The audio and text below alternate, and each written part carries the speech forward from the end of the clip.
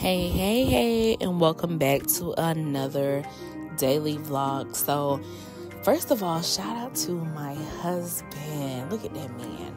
He is just amazing, above and beyond. Ladies, do not settle for nothing because if he want to, he will. Amen. Um, in my E voice. So we just basically had a family day today because my husband has been working so hard. And, you know, our 50 50 to us is, you know, I contribute to things at home. I satisfy my husband on a mental level, also making things peaceful for him and cooking and stuff like that. We both clean and cook for each other though, and we both share the responsibility of our son. But when it comes to a lot of the household things and just making sure like things are where they need to be, I take care of that. Y'all know as women we have to the men know how to do stuff, but you really gotta you really gotta guide these men. Um, but they know they they got it. Anyway, that's besides the point. Um, so with all of that being said, we decided to have a family day on my husband's off day.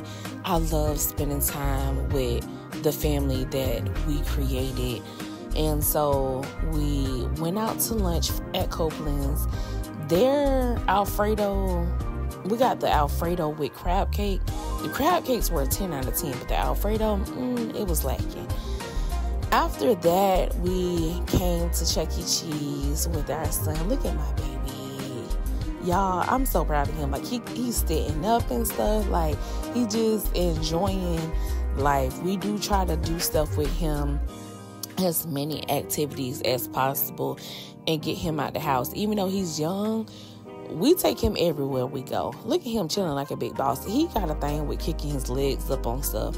And I just want to let y'all moms know just because you got a little baby, don't mean that baby want to sit in the house all day. You got to get these kids out of the house so they get used to being out in public. So when you're taking them somewhere, they're not out there acting crazy. But um, anyways, that's the end of this short vlog. We had an amazing time, and then he was knocked out at the end. Thank y'all so much for watching my mini vlog.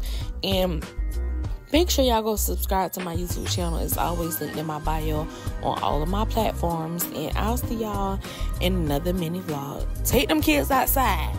Bye.